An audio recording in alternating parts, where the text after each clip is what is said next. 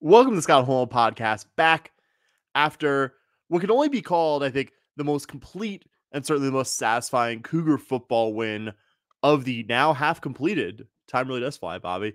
Uh, 2024 Cougar football season. A, a really awesome one. One that happened to fall on probably the busiest work week of the year for both uh, both co-hosts uh, of this show. But time waits for no podcast. Certainly not this one. Certainly couldn't not come back here and talk about an incredibly good Cougar football win.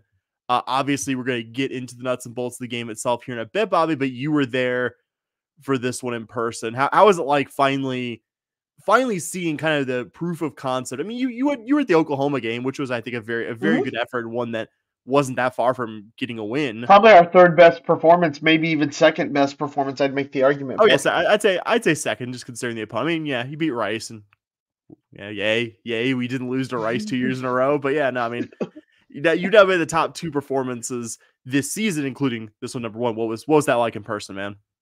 Dude, it's great. It's so much more fun to watch Cougars win in any sport that they play. It's just a better, it's just a better experience, you know. I, it not to not to compare to the two sports or anything like that, but it's a lot more fun when you win a game versus when we lost to TCU when we lost to TCU in women's basketball. Like it's just a lot more fun to go to those games. Heck, it's more fun to go to a game that you win where you kind of dominate an opponent over even a great a, a good performance like we had at Oklahoma. It's and it's always fun to be the fan on the road as long as you're not an asshole about it, right? Because you can sometimes get a little too far as long as you're a little self-deprecating and you're not um, you know, being too rude and in their face about it, you can usually have a pretty good time. And uh, that right there, same is what we call growth because uh, about 10, 12 years ago, I might not have said the same thing, but it actually is a lot of fun. You meet some cool people and you you get to see what their fan bases are going through and what their fan bases kind of think of us, not as a fan base, but of our team. Yeah, you get kind of that outsider perspective. You could sort of hear from his audio. Bobby is coming to us live from uh, from parts from parts unknown. We're treating like it's a big state secret. A, a city in Tennessee that shares the name of a uh, ancient Egyptian city uh, as well. I am I am in my home base, but I am. Uh, you never heard of Memphis? oh, now it's not a secret anymore, buddy. oh, there, there we go. There we go. You're you're making a face like like I, I didn't know it was an ancient Egyptian city. I've, do- public I've school. you. Public People... school. Pu- public school. You were a private school kid. Those are the fair. things they teach you in private school. That's fair. Uh, coming coming to you from uh, from not so parts unknown. Uh, me coming to you from not so parts unknown, but uh, but in, my work shirt. That's just how how busy of a, a week this has been. And uh, got, got of course mention here real quick. Our good friends at Charlie Hustle, charliehustle.com, makers of incredibly comfortable vintage collegiate wearables, including a great collection of Houston Cougar wearables, use our promo code PAWD15, that is POD15. In doing so, you will save 15% off your order from Charlie Hustle. You're going to look good doing it. I'm, I'm going to a, uh, a happy hour uh, from this busy work week, and I'm almost certainly going to be wearing uh, one of my fantastic Charlie Hustle tees, a little bit more casual affair than the one I've been at the last couple days. Uh, of course, support our friends at the 1012 Network, our network partners at TN12 Network, wherever you do social media. Uh, I believe that is all the housekeeping here. Oh, patreon.com slash SH podcast. For as little as 16 cents a day, you could support the work that Bobby and I do here on a weekly basis, talking about your Houston Cougars, like many of you have done. We have seen an uptick during the season, and we appreciate those of you who just joined us there, and really, really appreciate those of you who've been with us for now a number of years. It feels very surreal to us here. So, gotta get to it. The happy main subject of our podcast tonight, a 30 to 19 win by your Houston Cougars over the TCU Horn Frogs. And I kind of knew this one was different. I mean, you, you couldn't know this from the first drive, but you finally in this one, the first, you after the last game, you you move the ball more than you would think a 34-0 game would indicate against Cincinnati, but it wasn't a good offensive performance, however you sliced it. And Iowa State, yes, you had you had a couple of painful near scoring opportunities or near misses in that one, but felt like an honest shutout. It felt like a game where, yeah, the zero was indicative of the level of offensive success that you had against Iowa State. And it did never really felt like even after that first drive that stalled out on fourth down in TCU territory, at that point, I was like, well, at least we moved the ball. Like, I'm not gonna say I got ahead of my skis after one drive. I was like, okay, I don't think we're gonna get shut out today. And then emphatically, you saw that four different scoring drives in the first half. Like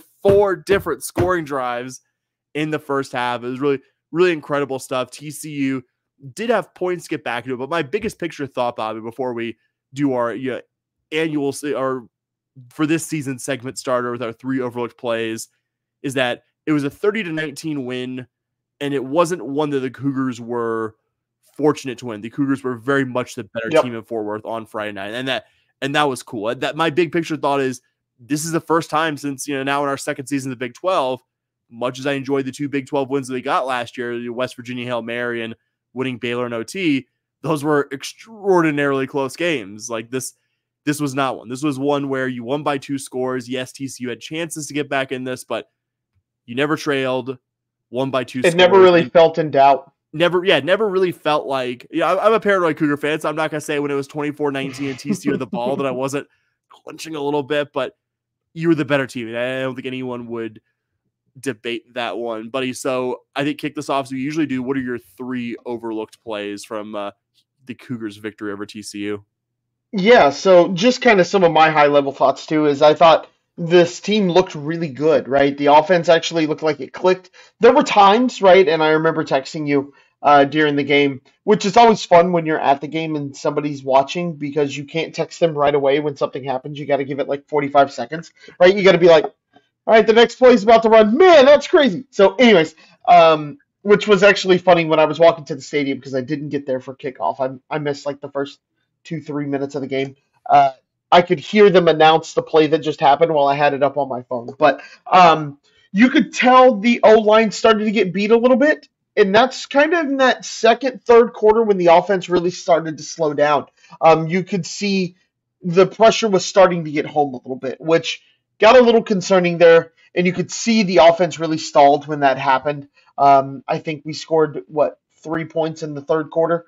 Um, and, and so there was a little bit of worry there, and you could see the three points, and it was that drive where you got the ball deep in TCU territory. Yeah, yeah and you could just see the offense was kind of starting to stall a little bit, and TCU had kind of figured out the defense, and that's kind of the beauty of football, right? Is the ebbs and flows of the game. You can you can dominate, but you know if you you got to play a full sixty. And uh, luckily for the Cougs coming away, it did not feel like the Cougs ever really this game was ever really in doubt for the Cougs, but overall it was just a really solid performance. But three plays. So um, the first one is Haulcy's first interception in the first quarter.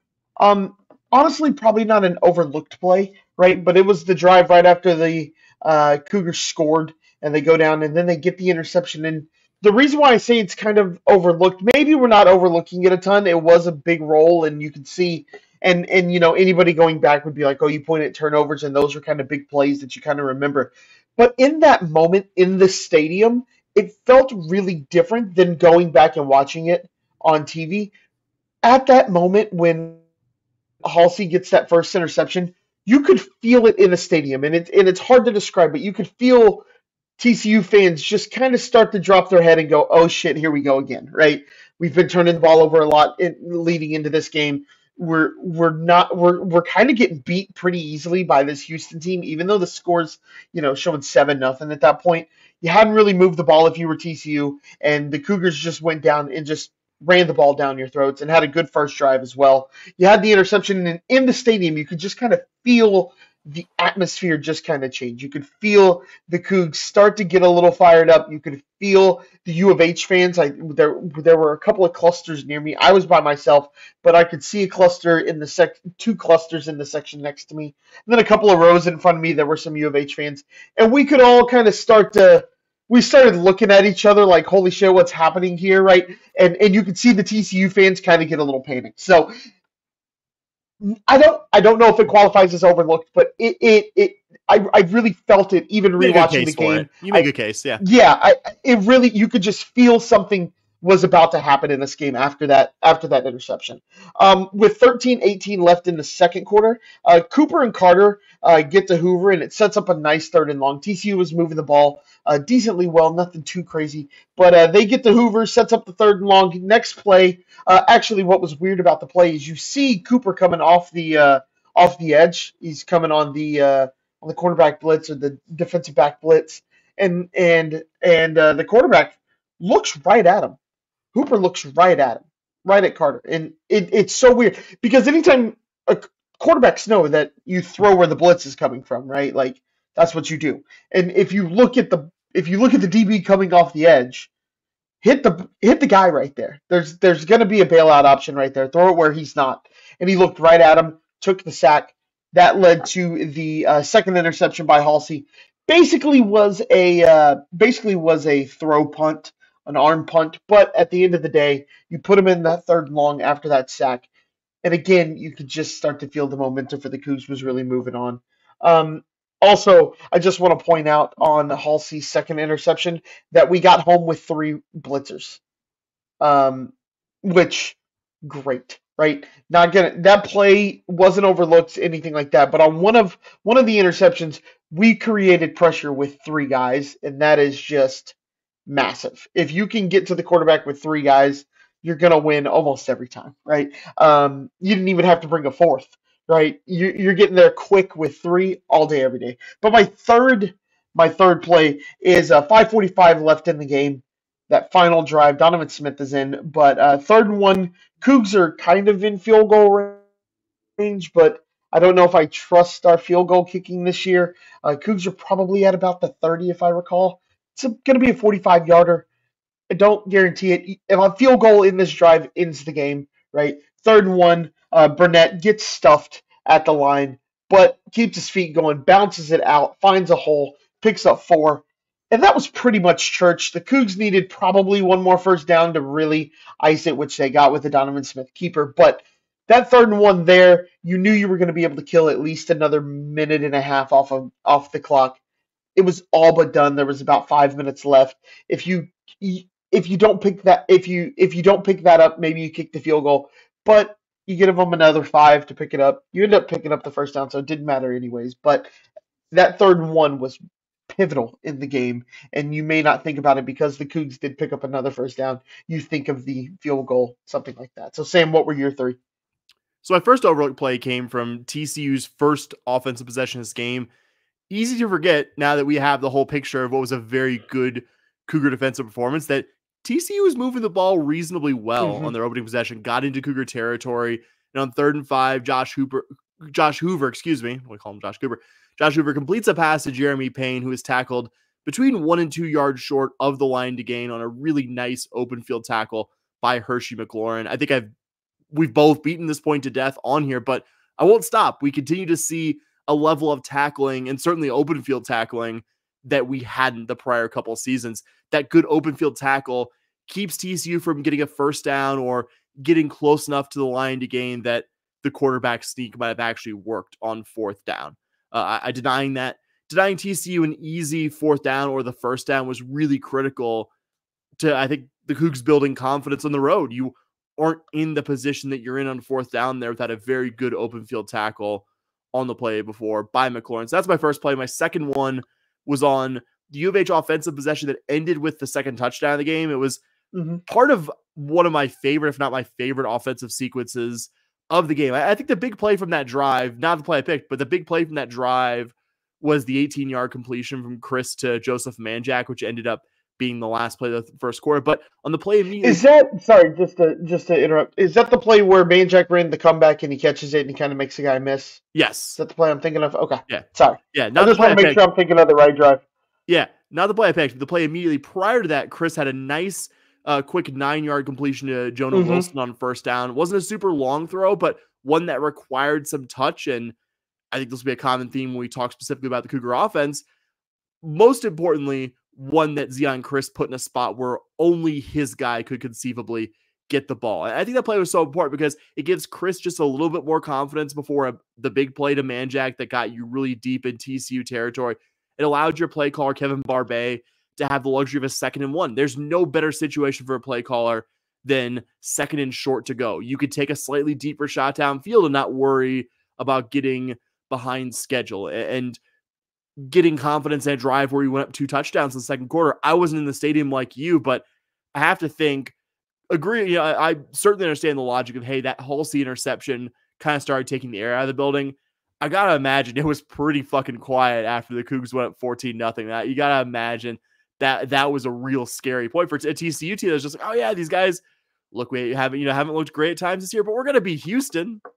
Gotta be Houston. Houston hasn't been that good, and to go down 14 nothing, it had to be like a panic, a panic moment for everyone from the TCU sideline up to everyone wearing purple in the stand. So uh, my third and final play was from the third scoring drive the game was a field goal drive. The Cougs uh, went up 17 nothing. Wasn't even the longest run of the scoring drive. That was Zeon Chriss doing having a 20 yard run at the start that got U of H set up pretty nicely in TCU territory. But the play I picked was a 12 yard run by Stacy Sneed. He lowers his shoulder at the end and gets mm-hmm. an additional couple yards, got the Cougars in the red zone.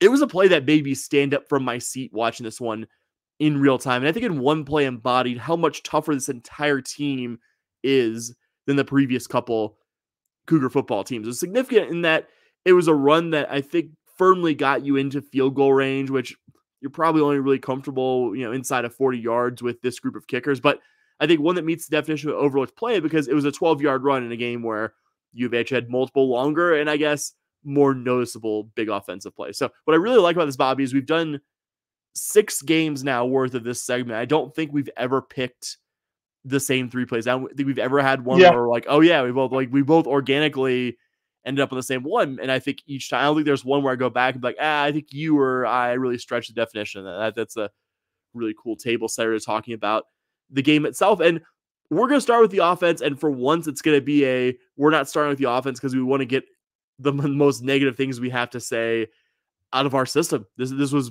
by far the most complete performance by this offense in 2024. Yes, technically you had more points against Rice, but I think considering your opponent, easily the best performance of the season. Bobby, why do you think things finally clicked for the offense on Friday in Fort Worth? And what things did you like the most from watching them? I mean, I think it's pretty easy and an obvious thing to point out. And you know how much I hate just pointing to to one thing in particular, um, or or I, the right answer. How, yeah, quarterback. I mean, Zeon Chriss looked comfortable back there. He threw the ball well. Um, I just want to point out that first touchdown throw was perfect. That throw could not have been a better throw from Zeon Chriss. He couldn't have put that ball in any better of a spot than the one he did. I think wide receiver made an amazing catch on it as well. Um, you know, you have a little bit of a height advantage there, so took advantage of that. Maybe you throw that at the back pylon, maybe, but uh, it was it, it, was just out of reach of the defender. So um, quarterback play, I think, was a uh, was a big deal. Uh, but the Cougs also were able to establish the run pretty well. Um, even um, you know you had Burnett getting uh, 26 yards. Doesn't seem like a lot on 12 carries. Um, but you know he kind of the bruiser and he picked up yards when he needed to. Uh, they had to respect Zeon Chriss. Um, I texted you this during the game. There was a play where um, you saw the TCU defensive lineman untouched. And he's just kind of standing there and he pauses for like a split second because he's playing some kind of contain. He's supposed to contain Zeon Chriss, but he realizes, wait, I'm untouched. I need to go after the quarterback, you know? Uh, just that just that little bit of being scared about what Zeon Chriss can do to you um, with his feet really changed the dynamic of the way you could just tell the way the defensive lines were the defensive linemen were approaching. They couldn't go ears pinned back and just go after the quarterback. It was wait a minute, I got to think about this for a second. There's a chance that I get burned if I don't. So um, I think I think that was a big plan or a big uh, a big a big thing there. I think uh, he had time to throw and he made decisions quickly. I think the O line played really well in this game. Um, there were some times, right? Um, I think I pointed it one out to you where they ran a stunt. Uh, TCU ran a stunt, and you just saw a they run a stunt. The guard, perfect, plays it perfectly. Left tackle is like, oh, this guy disappeared in front of me. I don't have anyone to block. And then you watch Zeon Chriss get sacked. But overall, I think it was Zeon Chriss was quick with his decisions. He had time to throw. He was able to create time himself. Um, you know, I, I guess I'll sit here and eat a little bit of crow. I was like, I don't know if he's really the problem, uh, or if Donovan Smith is really the problem. This O line, uh, it's hard to evaluate it. Well, guys, Zeon Chriss looked like the truth on Friday. Uh, 12 of 15 for, uh, or 15 of 18. Sorry, I can do math. Uh, 15 of 18 for 141, uh, 82.6 quarterback rating. You could just see it was different. Um, that 71 yard touchdown run, that was a dagger, right? You're in the stadium, you go, oh, uh, maybe UH goes down here, kicks a field goal. Next thing you know, they score a touchdown. You're like, oh, wait a minute. And that is probably the most excited I've been watching Cougar football in a very long time in the stadium. I stood up and I was like, go, Zeon, go! Because I'm very cognizant of like people around me when I'm at games. Like, I don't want to stand up, especially on away games. That's a way that you, you know, start to get into a fight. That play, he broke it. And I was sitting high enough that I could see that he had nobody near him. So it was just like, go, go, go. So I think, I think that was a big, uh, uh, you know, to your point, it's the it's the right answer. He uh, he he made a huge difference, and and uh, the offense just clicked. They had the time. They could do what they wanted to. They ran what we thought this offense would look like.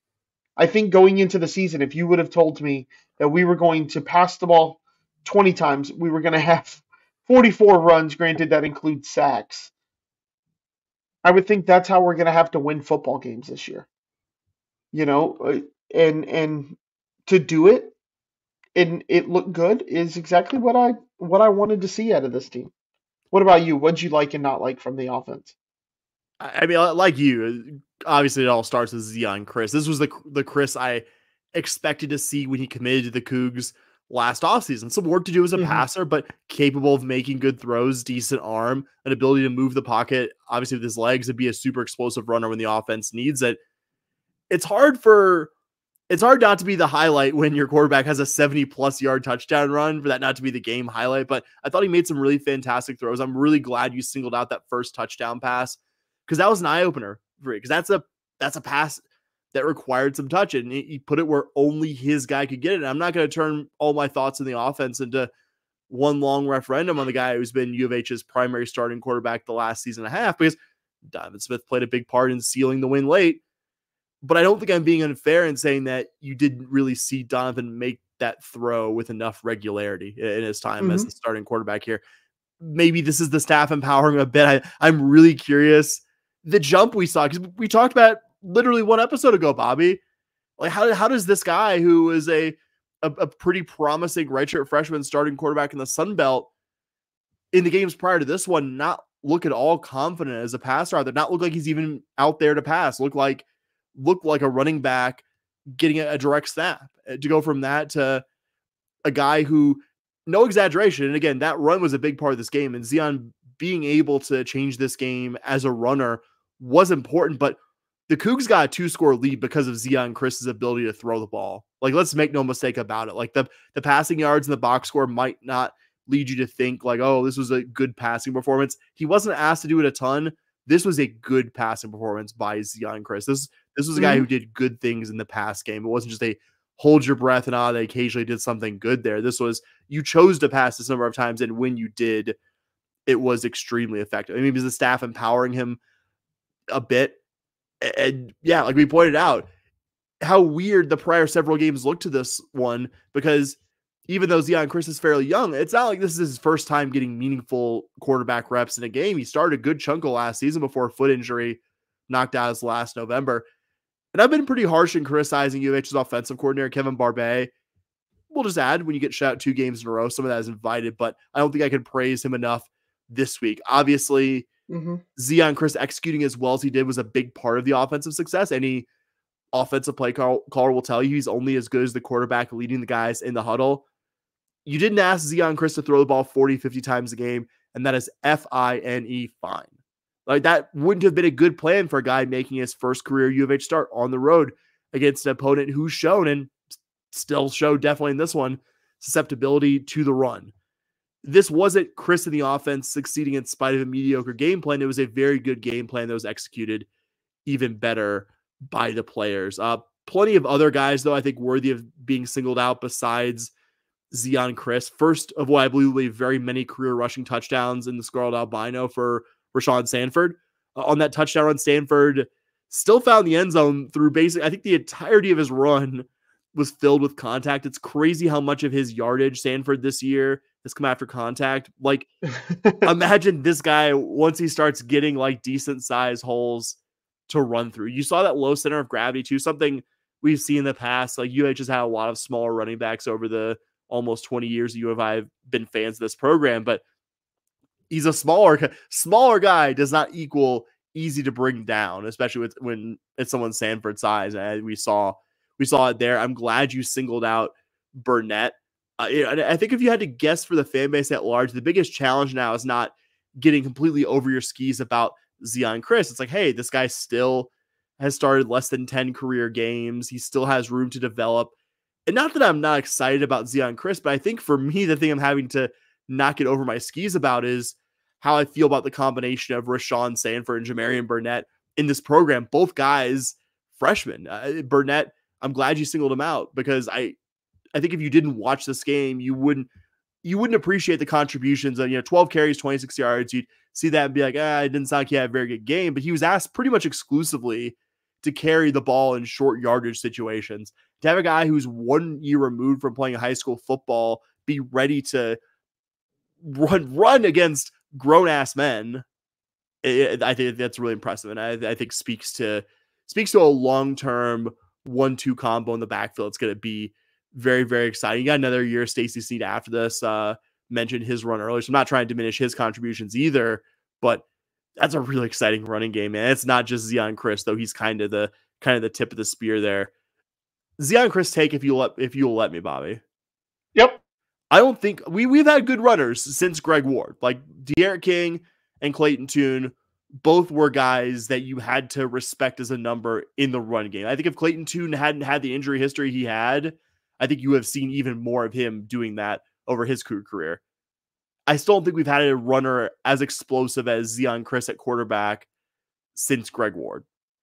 Like, like just I agree. His his ability, like again, the other guys I mentioned, ability to be a number in the run game, had to respect them, made exciting plays with their feet, but to house it from 70 yards out like Chriss did for that, you know, fourth score, and I think really almost the backbreaker for TCU, even though they had chances to get back in this game in the second half.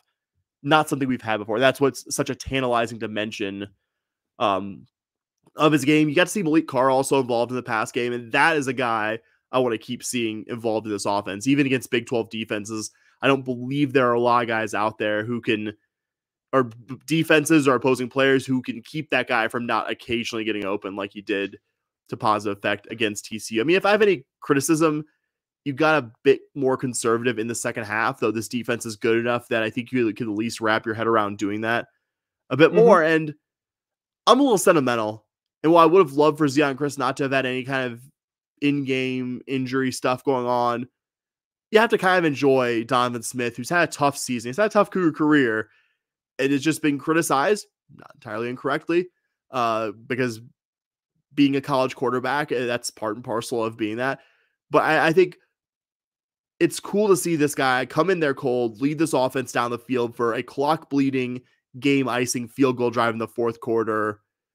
Really cool stuff. For what you told me, he was very much engaged on the, even even aside, he was very much engaged with the mm-hmm. offense. That's that's tough. Oh, yeah. uh, you're you're a competitor. Like Donovan Smith wants to be the successful starting quarterback of this team. Bad, you know, more badly than you or I could even fathom. This guy's this guy's a high level athlete. Hasn't always gone right for him, but this guy isn't a Division One quarterback. You know, because all of his coaches are just like his personality. Like it, even if you are a team guy, it sucks to see like, hey, like, oh, this this guy's doing way better. Than, This guy's honestly doing awesome. They're not going to be pulling me out of the game for this guy. To have him again, from what you and everyone else has told me, still be engaged and still hyping his guys up, and then going cold when his team really needs him and lead a drive where you really just needed to bleed clock and get one more score and truly put this game on ice. That's cool stuff. The offense didn't ask him to throw a lot there. He had that nice run on third and long but that's that's the cool stuff. Like that's that's the kind of sports stories I really like. Where you say? Sorry, dude. One of the what I what I meant with they were all engaged. It was that final defensive drive, and the offense was just on the sideline, jumping up and down, going crazy, talking mad shit. They were talking so much shit anytime anybody ran a play. And the number one person talking shit was Donovan Smith. Love it. I mean, the ball would if if somebody would come in, he's there. He's like, "You got, you got."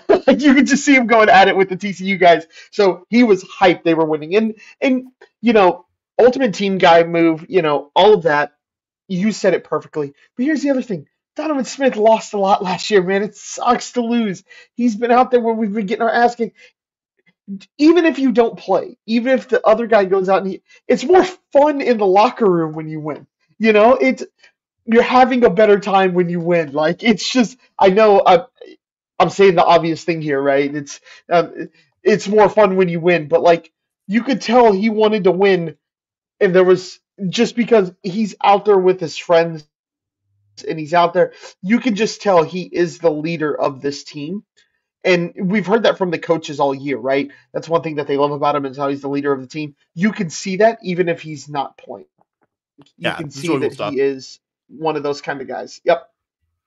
Uh, same kind of general thought for your kicker, Jack Martin, who's once again your starting place kicker, hit three field goals to help secure the win. They were all field goals that I think Jack Martin should hit, but I'm still happy he got kind of his redemption in this game as well. And my last two thoughts, I, I said this to you via text message right before we went on air.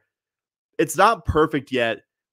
This offensive line, which was after week one, just this five alarm fire of, oh my God, I don't think I've ever seen a worse performance from a group was O line to now. Incredible amount of improvement. And also, I think given the career resume of the five or six guys who have mostly started versus you want to look at the five or six guys who started most of last season, I think you're getting a lot more positive stuff out of that unit. I mean, certainly in the run game. I mean, you've probably already had two rushing performances this year, just about better than anything you did last year. I mean, God, just running the ball was such a such a trial and not a trial that uh, went really well during the Holgorsen era.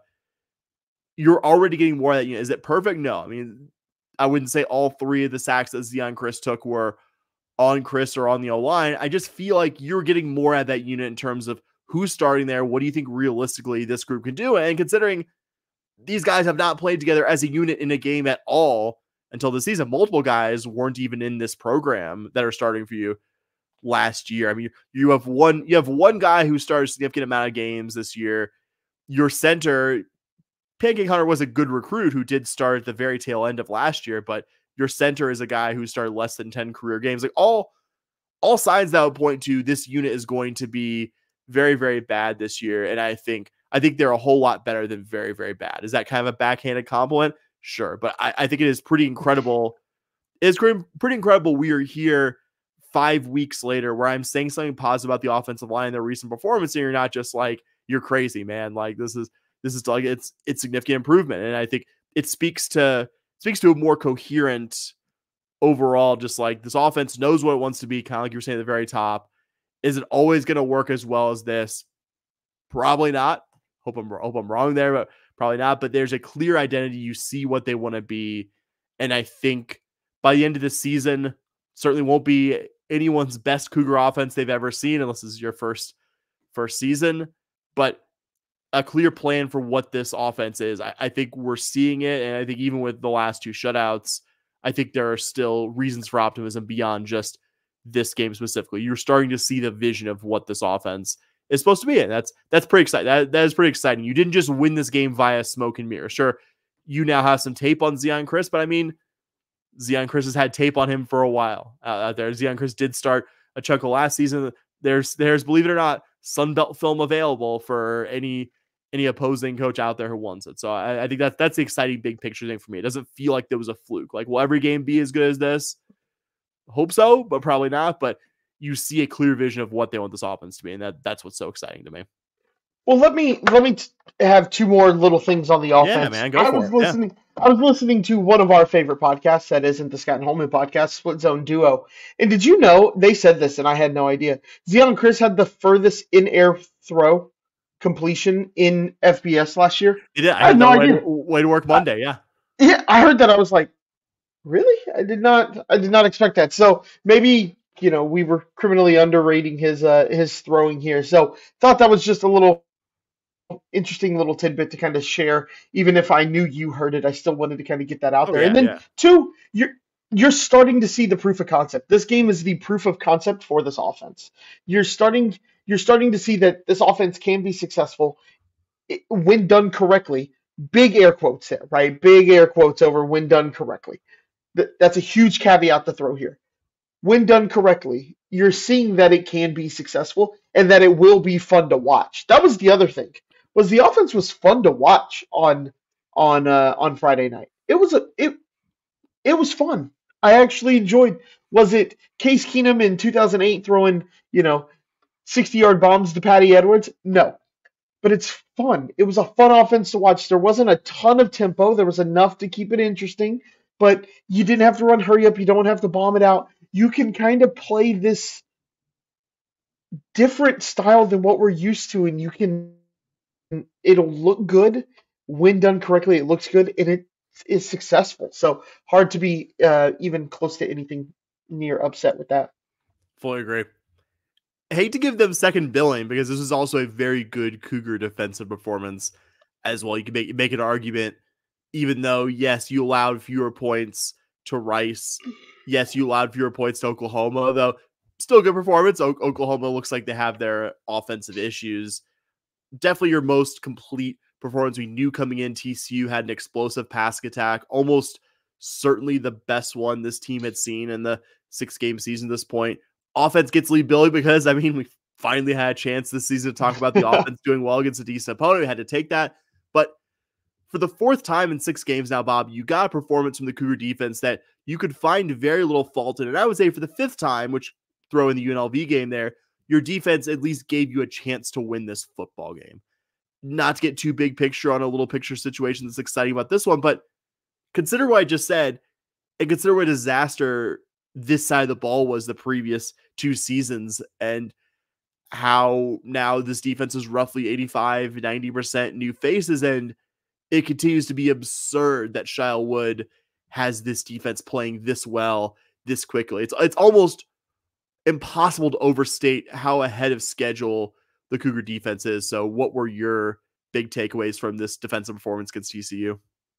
we got turnovers. That was huge, right? It has felt like you know I I didn't do the actual like research on this, but uh, it feels like we've gotten our butts whipped in the turnover game and the and er, in the turnover numbers, and we got two good interceptions. One again, I said was the kind of like an arm punt. It was on third and long, and he threw it, you know, 40, 50 yards down the field, and it was intercepted. But still, you get that interception the ball kind of bounced your way a little bit on on fumble recoveries. I know that's not defense related. You were getting to the quarterback. Hoover didn't have a lot of time to throw.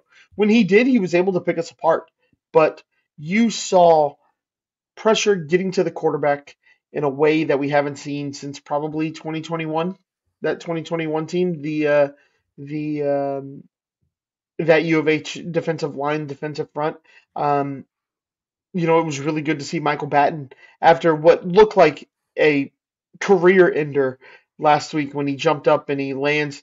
He's got, I think he had a couple of sacks. He had a fumble recovery. Guy just had, have yourself a game, buddy. Yeah, uh, Batten has a, uh, recovers a fumble. Batten's uh, six tackles uh, and a sack. Just what a game by Michael Batten. And let me just talk about how we have a guy on our team who might you, you could make an argument that he could be except for one guy there's a there's one guy uh, who plays for Colorado who could make an argument for being defensive player of the year over him. AJ Haulcy. Seven tackles pass deflection just two interceptions. What what else can you ask for out of a defensive player out of one of your DBs what a what an absolute stud he's been this year. AJ Haulcy has been an amazing, amazing player this year. Just want to shout him out. I know I seem to give him a shout out every week, but the guy is bringing it every week, and he is just performing in a way that we just haven't seen from a defensive player in a while. AJ Haulcy was one of those guys when kind of the the 24 roster was forming, and you're like, okay, who's going to be back? Who who who has eligibility to get back and all that stuff, and it was clear that okay, he's not going to be one of the first group of guys leaving. And it's just like no one really stood out in last year's defense because you know last year's defense wasn't especially good, but he was one of those guys. Like, okay, but I could see him being a promising guy to build. I could see him with a better scheme and guys around him playing better to be to be capable of being a standout player in a good defense. He's been everything there and then some. I, I think we've kind of skewed heavier to talking about the defensive front when we talked about the Cougar defensive performances, but all the guys we've highlighted from that group, AJ Haulcy's been as important, as big of a part of this defense's successes as any of those guys who singled out. And you mentioned the turnover luck, and that this could be an offense or defense thing. And it's it's true. There there were some fumbles that had fortuitous bounces U of H's way. Josh Hoover is extraordinarily lucky that he did not throw three picks in this one. This was uh, on mm-hmm. TCU's uh, first touchdown drive because he throws a ball. I almost think the U of H guy was surprised it was going to him, doesn't get it, and then immediately TCU has two big chunk plays. I believe a run and then a pass immediately after that. So yes, the Cougars got some uh, some some fortunate, I think, fumble luck offensively that they really haven't gotten prior this season. But I think TCU TCU was lucky. They also had, I would say, the worst non-called hold. It was on Keith Cooper on ended up being their second touchdown drive. I I yes I I've believe it or not, I have mostly trained myself from being the yells at TV while watching game guys. Certainly about a call because it's just like no, the ref in Fort Worth cannot hear me yell at my flat screen. But the right tackle is holding Cooper. I'm just like, it's a fucking hold. Loud enough that I'm sure my neighbor uh, could have heard. Like I was very unhappy uh, about that one, but a, a great performance talked about Michael Batten. Like you, like you said, what a single out one play here. I have not seen many guys less ready for contact than it was on third and very long. A TCU running back is trying to do blitz pickup on Michael Batten, and it's like it's like the guy's barely there. I don't think it's for lack of trying. I don't think it was like, oh, the guy shy away from contact. It was, it was one of the guy was like one of those little half-ass speed bumps you see sometimes. Just like, yeah, I know your intention is to slow people down, but I don't think you're doing that. And yeah, great, great play had bad there as part part of a game where we had a lot of a lot of great ones. We've said it on here before. This defense didn't have a Michael Batten on it last year. And it is it is very clear the difference that this guy's making. I almost had this one as one of my overlooked plays, Bobby. Carlos Allen it ended up being on a TCU scoring drive, which is kind of why I put it by a little pool of like, hey, this could be an overlooked play. But he makes a lateral play to him and someone else in the open field to get Josh Hoover, the TCU quarterback, when he tried to do a keeper there. And no, I had that, that, play written down too. I had you? that play written down too. Uh, yeah, great minds. A play with a, a, linebacker does it, you're like, okay, like you know, did decent play there, but you expect that, but not like a 5'11, 300 pound like defensive tackle. Like a guy that size shouldn't be moving like this. It is remarkable. Like, this guy was playing for FCS Kennesaw State until this year. There are there are in this era where you have fewer diamonds in the rough, you have fewer guys that get overlooked by the big recruiting industrial complex. It is incredible to see this guy. like, oh yeah, this guy is a Big 12 defensive talent. This guy should be on a good Big 12 defense. And up until yep. this year was playing for Kennesaw State. I mean, great, great eval by the staff, but obviously a guy, a great athlete who was clearly ready for a higher level of competition than the one he was facing. That, that was just one of those plays that I wanted to single out there. Hershey, McLaurin, yeah, Hershey McLaurin mentioned him for the overlook play. A buried lead on this one. Really nice play, momentum shifting in the gameplay, punching the ball at JP Richardson's uh, what a play arms. Yeah, I feel I feel like any momentum that at that point TCU was trying to claw back. I think that was the last point in the game where I really felt worried about the outcome. Really felt like, oh man, like TCU could get control of this game. Then Hershey McLaurin punches the ball back out. Cougars get it.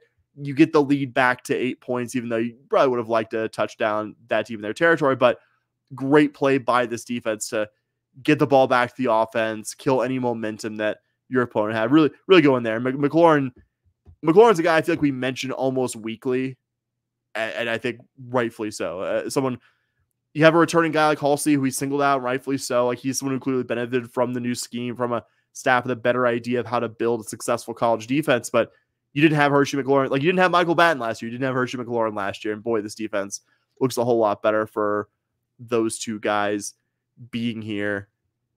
We've been beating the drum on this pod all season that even when some games like UNLV or Iowa State end with not great looking opponent rushing totals, this is still a capital G good run defense. It didn't hurt mm-hmm. that you put Eh, eh, good complementary football. You put TCU in a multi-score hole and probably less willing to run the football than if this was a close game for a lot longer.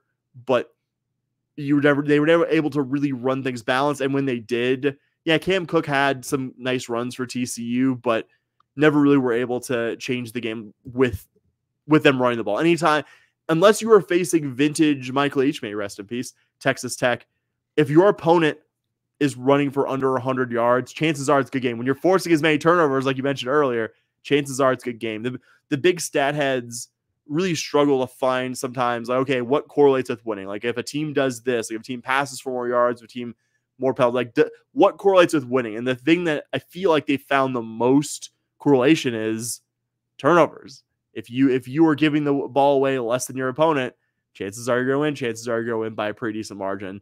That's what the Cougars did uh, on Friday night. This was T- uh, TCU's lowest passing output of the 2024 season, their lowest points output in the current season. I mean, for any of that team's faults, TCU hadn't been held under 30 points by anyone this season. The Cougars did it, and the Cougars did it by a pretty good margin, which that's really cool. Uh, something that I don't think is offense or defense specific, if you'll allow me, that probably should talk about this point, Bobby. The Cougs didn't beat the Cougs. The yep, Cougs absolutely. didn't beat the Cougs. Yep. I can't imagine how happy Willie Fritz is that didn't have a special teams penalty, didn't have very many, didn't have very many penalties. Period. And I, I honestly wasn't a big fan of some. Like I, I, I remember just right after they didn't call OPI, which I don't think it was a really blatant OPI, but I thought I thought TCU's first touchdown was a little OPI on their receiver there. To Mhm. not call that, and then the next possession, U of H gets a real sketchy defensive PI called on them. Can't say I was very happy with that. You Yep. know, but, but this is this is not my extended bitch about the ref segment. This is to say that even the penalties that U of H got, I didn't look at that and be like, oh, what's that guy doing there? Just like, ah, I sort of see why they made the call. It's kind of borderline. I don't, I don't, I'm not mad at the player for it. I, I don't think the player did anything bad there. Uh, I, I just, Mhm. you saw how good this team can be if they're not just shooting themselves in the foot constantly. Like you saw that Right. If you're not playing with that handicap that you kind of like even the Rice game, there were a lot there were some sequences of the Rice game where you committed a good number of penalties. Like the penalty yardage wasn't great at the end of that, but it's like, okay, like you played better than other facets and you were also playing a frankly terrible opponent. Like that that can make up for it. You weren't playing a terrible opponent this week. You were the more disciplined team. Is it going to be this good every week? Coming to the offense? Probably not. Like you you will probably have it hopefully not many, but least one or two more games this year where just pen- penalties are a problem. Even the best teams oftentimes have problems, or at least one or two games that have problems with penalties. But like the offense, you could see the vision. You could see a more disciplined, purposeful team in this game. And ideally, you know, by the end of the season, and certainly the seasons to come, you're seeing something like that most Saturdays. Like I think that's what makes this win in the big picture so valuable. Is I think it wasn't just okay. I'm, we're happy to beat Rice, and we finally got that. This is a we beat a Big 12 opponent. We did it by being the more disciplined, more purposeful, the, the tougher team. And that was something this fan base, I think, needed to see when it was kind of really at a low ebb the week before at one and four overall and back to back shutouts for the first time in 30 years. It was, it was really, this was a win this fan base needed to see. This is a win to kind of calm the nerves. Hey, like this season still might be tough. You still might be 13th, 14th, 15th best in this league when it's all said and done, though. I, I you know, have hope for this team to be better than that. But you could see the vision, you could see what this program can and I think will eventually be under Willie Fritz. And that that was cool. And I think embodied by the penalties. So any other defensive thoughts, big picture thoughts you got there, bud? Oh, I got I got one more when you're done. So you you do your thing. I No, I am no, no, no. You've uh, you've you've said a lot of just how I should feel about this game and how Cougar fans should feel about this game. There is uh, the Cougs didn't beat the Cougs, right? We, we I think that's been one of our biggest complaints, and no special team penalties, if I recall. Um, these penalties, buddy. which which has just been one of those things that for some reason special team penalties feel worse than a regular penalty because like you're running down the field, throw a block, let the guy he can call a fair catch. Like let him ke- like if you get beat, I'd rather him call the fair catch and not get the hold than you hold him and then him still have to call a fair catch, right? So that's big. Just overall, it just feels like this team this is starting to it's honestly how you kind of expected this year to go, right? You you come out, you maybe you want to win that first game against UNLV. Maybe you think you can out talent them, but that UNLV team is starting to show that they are actually a really good football team.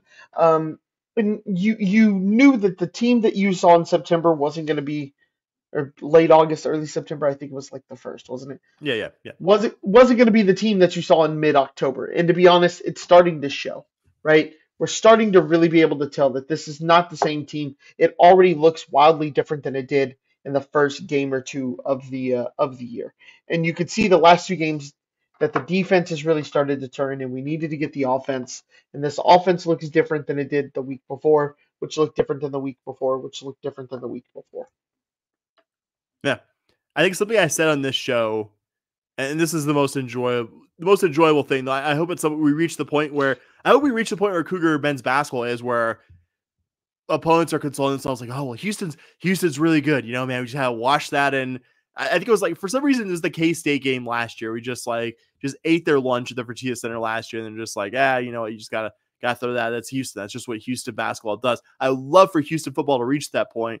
Until then, though, it was just absolutely glorious. I don't really have any a special dislike of the TCU fan base. I don't. I, don't, I mean, I, I want to beat them maybe like ten percent more because it's another Texas school, but I, I don't have any strong negative or positive feelings towards TCU great to see that fan base just absolutely lose their mind from losing to us. Like, what just did I tell you? What know, did I tell you? Know that it's like, oh man, you didn't like it wasn't just a loss. Like you just like you made these guys question their season. You just removed the life, uh, the hope that Horn Frog fans had for this season. Like uh, that's just yep. that, that is that was fantastic. That was chicken soup for my soul. Even as someone who doesn't really have any a special strong dislike to TCU. Would love would love to kind of do a repeat of this in a month and change against Baylor. Do, do the final final nail in the coffin of Dave Aranda's time there and to beat those fools uh, a second season in a row. But I'm telling you, that is going. If we win, he is gone. Oh yeah, I will bet. I will bet money that if they lose to us, he will be gone. Yeah, and you could see, too, you yeah. could see, you could see what I was talking about and, and it seemed it seems like our, uh, our our guest last week, who was great, kind of really scoffed at the idea that it would make his seat warm or that it no, would I'm, be. I'm talking about Dave Aranda. No, I'm talking about Dave Aranda. No, no, no. And I'm saying, but I'm saying, oh, going yeah. back to to uh, TC uh, TCU's coach, it's it's very. You could see it was kind of one of those things where it was like, oh yeah, no, if if we lose to you guys, it it'll be okay. But I think most reasonable reasonable people, and it's like then you go to his uh you go to his whatchamacallit, his uh you go to his Twitter page after the game and it was crazy. They hated it. They were so mad. And I like the TCU fan base. I grew up in DFW. I I just I I've I went to TCU games as a kid sometimes occasionally. So like I like them. They're cool. They're fine. They were well, super sorry, nice to me at the game. A G five team that won so often that the big boys club had to let them in. It was, I had no choice. Super aspirational programs like U of H was at one time, yep. at least for me. Yep. But it was just it. It's just it, you're right. It was. It is funny watching them just absolutely, completely melt down. And they're a private school, so we'll never truly know the dollar amount. But man, imagine being like financially. tied. I mean, I guess you you don't have to imagine that hard. We were just financially tied for large sums of money to Dana mm-hmm. Holgorsen, which I don't think is any better yeah. than that, certainly. But imagine being tied that much money to Sonny Dyke. So I, am sorry, like he's had some good offenses. He's like won some interesting places. Like winning at Cal that year he had Jared Goff. Winning at Cal is hard. Winning at La Tech like that last year he was there, that offense just scorched us in 2012. They were such a fun team to watch. But like, you look at his career. This is like a it's a guy who wins seven, eight games a year. Like that's what Sonny Dykes does. They win seven, eight games a year. He has exciting offense, defense optional, and it just never a team capable of, of really winning at a high level. A, a team that that's going to often beat itself and stuff like that. So whatever happens to U of H the rest of the year, you just you know, I guess take some solace in the fact that the right guy, the right staff are in charge right now, and that this what you saw on Friday night might not be every single week the rest of the season, but this this will be this program. Willie Fritz, I'm putting my line in the sand here. We will win again. Like this game, this will be the fucking norm for this program. I swear to you. Yep. I believe it with everything in me that that's gonna be the case, and that's that's what's so cool about it. And so it's a good. Yeah, I agree. Oh, oh, hold on. Yeah. Got Oh, got to brag. we can end it. I was Ah, gonna gotta, say. Got to talk. Got to talk about our picks here. Uh, yeah, obviously, normally more robust schedule here, but both of us have had a tiny fraction of the amount of time for prep this episode as usual, and I, I don't want to. I don't want to honestly disrespect the other sports. Notable stuff to talk about. We will catch up next episode. We've got we've got football off week here coming up, so we got plenty of time to catch up on everything else because there's a fair amount of stuff happening in, Cougar athletics. Bobby was Bobby was in person watch the tennis program. The golf women's golf program did something awesome. Cougar volleyball is obviously in season and doing good stuff there. So we'll come back and talk about all that stuff. But this is to be a rare football only episode from us. To close here talking about our picks, our weekly segment down with the pick list today. Just a review of our picks from last week. I had probably my pick of the year, and yet, yet, Bobby, I still trail you. You have just over 1320 pod bucks. I am the I have- betting god. I just have over 1253 despite my correct prediction of uh, U of H winning this one outright with the money line. So they paid out five and a half to one. So this paid out for my 35 uh, fake pod bucks bet, 227 uh, pay fake dollars. We're not encouraging you to be a uh, a gambler, though. We're not encouraging. it. We're not encouraging, but uh, somehow Bobby and I are both multiple hundreds of dollars up on our uh, imaginary starting total. So I picked that correctly. We also both correctly picked the game total under 49 and a half points, just got under at 30 19. Difference being Bobby also correctly took uh, U of H to the point spread, and I incorrectly took the first half under of 25 and a half points, which was my biggest of the three bets I made this season. I am I am an even 500 this year. I'm as good as a coin flip. I'm six and six. Uh, my co-host here is, is a much uh, healthier uh, six and four on Let's season. go. So I, I'm trailing in both record and imaginary pod bucks, but I, I will take some small solace in the fact that for the for the first time in my life, not that I'm a current active uh, sports better, I I am up significant amounts of money uh, on my starting total. So that's that's clearly the That's a the positive. here. That's a I've positive. only- I have to only bet on U of H. I have to. It has to only be imaginary money. If the real money comes in, uh, my mojo and your mojo clearly both. That is correct. That is So. correct. That is correct. So Are we done? about win, Bobby. Uh, it's a really fun time. I, it- Oh, it- so much better. It's so much better. I- Especially like going back and look, I say this every week, but going back and trying to find three plays is so much easier when it's kind of a close game, whether we win or we lose. Like it was much easier to find them during the OU game than it was losing 34 nothing. You're just like, well, this was over at halftime. I got to find three plays that influence the outcome of this game. This game was never in doubt. I just the, the fact that rewatching the Cincy game did, didn't enjoy Not any fun. part of watching it. No. And the fact that I had to do at least a one and a half rewatch of that. Not not fun. Not complaining about what I do. Like I, I I enjoy podcasting very much. Good good times and bad. Like if if we were like I, I think about like the Alabama loss to Vandy and just like whatever. If I happen if the circumstances happen to be that I was an Alabama fan or I went there for my undergrad or something like that, whatever. Cool. But I almost feel like that's almost a more miserable experience because it's just like, oh, if we don't win 11 to 12 games, I'm just miserable about it. And that, that yeah. I'm disappointed. really bad I'm way to be a fan. Yeah, exactly. So, Yeah. just, you know, National titles are fun though. oh yeah, no, I wouldn't, wouldn't, wouldn't seize at U of H somehow in the next 10 years, turning itself into, uh, into a new And I kind of think of that's kind of our basketball program right now. We're kind of like that. If we if we lose Yeah. to a team like a Vanderbilt, uh, you know, a, a basketball equivalent of Vanderbilt, we'd be like, "What the fuck?" You know. So what you, what, were- what you, were you not a lot? I mean, I guess no one technically saw that one because it was COVID, but like, I mean, you were around for the ECU game, uh, were you not? Uh, anyway, anyway, not to bring up bad memories in was. this. Anyway, enjoy the winning pod. It's all we got this week.